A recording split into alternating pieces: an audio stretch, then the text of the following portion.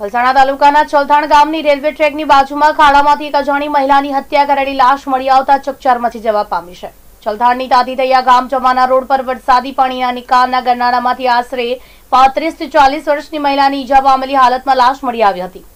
જો કે પ્રાથમિક તપાસમાં અજાણી મહિલાને ગળાના ભાગે ફાંસો આપીને મોત નિપજાવવામાં આવ્યું હોવાનું બહાર આવ્યું છે. આ બનાવ અંગે કડોદરા પોલીસે હત્યાનો ગુનો દાખલ કરી વધુ તપાસ હાથ ધરી છે.